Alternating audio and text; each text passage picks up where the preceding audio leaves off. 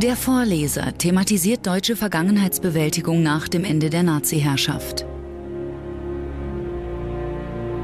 In seiner Jugend hat Michael eine Affäre mit Hanna.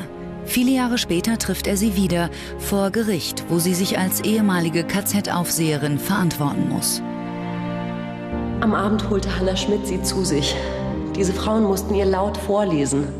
Der gleichnamige Roman des deutschen Bernhard Schlink diente als Grundlage für den Film. Gedreht wurde überwiegend in Deutschland.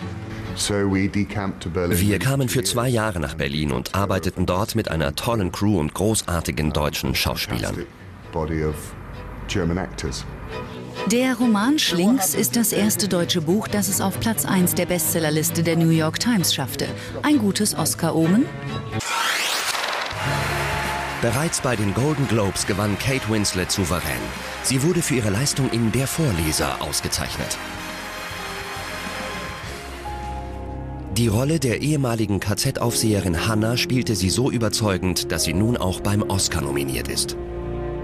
Sie haben Frauen ausgewählt und gesagt, du, du und du wirst zurückgeschickt und dann ermordet. Nein, nein. Ich war völlig nervös. Man ist immer nervös, wenn man so eine Rolle spielt, aber dann auch noch der fremde Akzent. Ich musste ja eine deutsche Frau spielen. Fünfmal war Kate Winslet bereits für den Oscar nominiert, musste aber ohne Trophäe nach Hause. Was für eine Legende. Okay. Ah, David! Herzlich willkommen. Schön, dass du, wir wussten gar nicht, dass du da bist. Steven, pleasure to meet you. Steven? Der Vorleser, the reader. Yeah, yeah, but you've spent so much time in Berlin. You must learn. You must have learned. Mein Deutsch ist sehr schlecht. Aber du doch auf Deutsch. Ich mache auf Deutsch.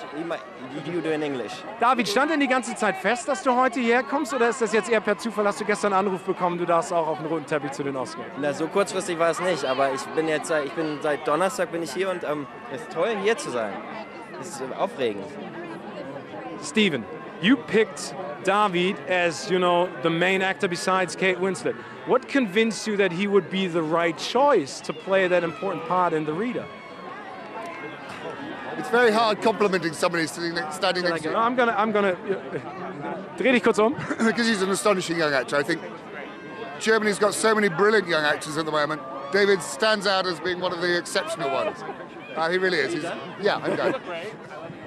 Was war denn für dich jetzt? I mean, there are a couple of really important scenes, especially one, the ones with Kate Winslet, and everyone has been talking about being naked, the love scenes, the love making between, you know, David and Kate. How did you try and make them feel comfortable on set? I mean, was it like a closed-up set? Did you tell everyone to walk off, or? Sure, that's the easy things, but being very precise, I think, very specific about what the scene was doing. No improvisation. This is what we're doing. But Kate was fantastic, wasn't she? she She's done them a lot, and yeah. she was very careful and very kind, and we actually had a laugh in the end. Wie war es für dich, David?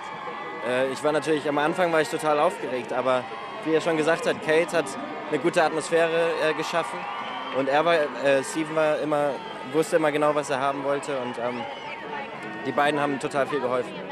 Wo ist Kate? Where's Kate? Now? Just over there. Is that what you asked me? Where yeah, is exactly, she? Yeah, no. Just over there. Okay, so she's coming. Are you going to tell her to stop by the Germans? Of course.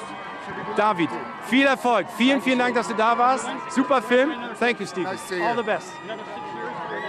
Also heute Abend viele Überraschungen. Michael Bulli Herbig auf dem roten Teppich, David Cross, mit dem hätte man ja rechnen können, The Reader, der Vorleser.